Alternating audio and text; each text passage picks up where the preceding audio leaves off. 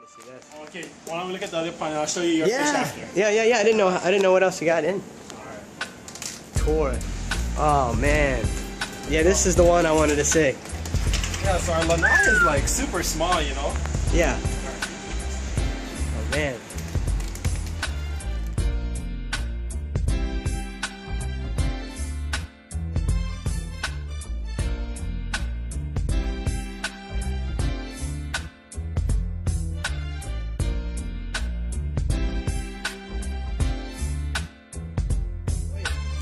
Before I did this, because I was kind of worried about how heavy it would be, I called the Department of Permitting Okay. to ask how many, how much weight like uh, a, a Hawaii balcony can hold. So they said like it's 100 pounds per per square feet. So we're about right now with lumber and everything should be about 2,000 pounds, give or take. Wow. So this this lanai can hold hold about 3,000, maybe three half.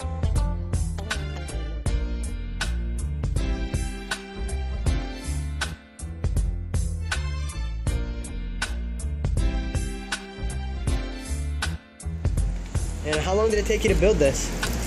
Uh, about about two weeks on and off, you know, just when I can, kind of thing. Man, how much do you think a project like this uh, cost you roughly? So the lumber, it's the lumber is about 30, 40 bucks at the most. You know, it's not that expensive. Pond liner was about 50 bucks, but I could make two of these ponds with the with the sheet that I got. Oh, nice. Yeah, so I have another sheet just waiting. I don't know for something. Look at that. This is your aquaponics? Yeah, So that's going. yeah. Does it get sun? So it does. This is as much sun as it gets. It, it never gets like direct sun. Never. Never. But it's still Wow. growing. So this is not going to build up a lot of algae then at all because it's not going to get too much sun. Yeah, maybe. I'm not sure. Nice. And you got the and you got the and you got ah the yeah you got your piping running all along here. Oh, nice. Yeah, this is like Great. a It's it's like like a a 70. yeah it's like a 70 gallon one. Wow. Incredible. And then what your pump is over here. Pump is right over here.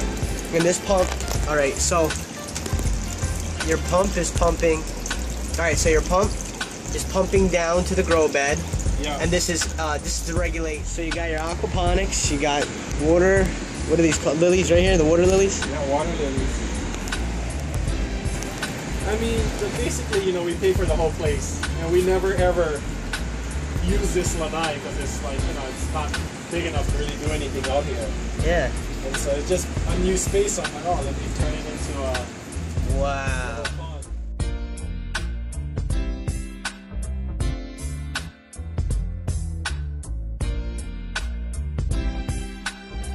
That one. Right there. Yeah. Oh yeah, so I like that one. But I think he's kind of like he doesn't grow very fast. Man. Wow, where'd you get some of these guys? They're super nice.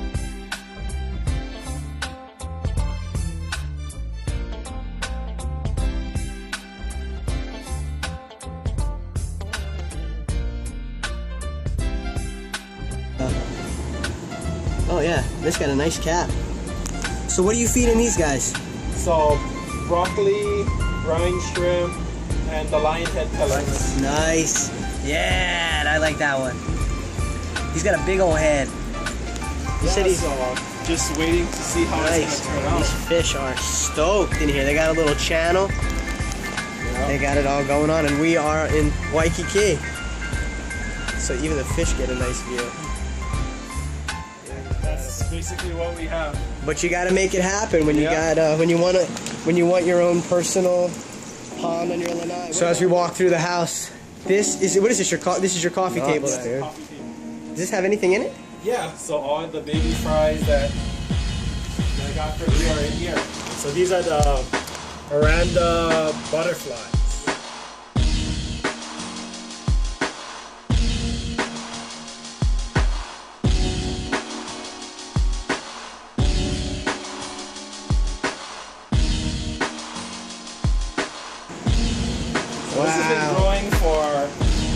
Maybe three months or so.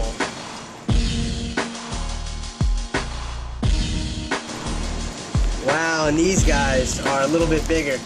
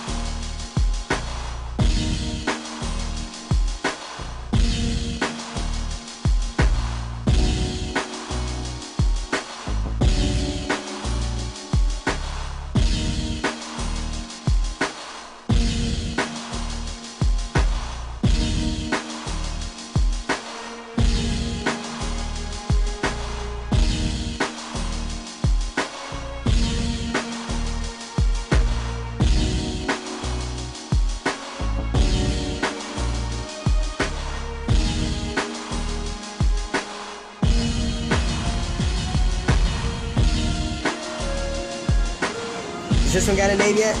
Yes, this is Kuro Mame. Yeah, Kuromame. That means black beef. All right, this is a special Oranda. This is one of the very first ones I ever sold. One of the very first ones I ever bred. My very first surviving fry.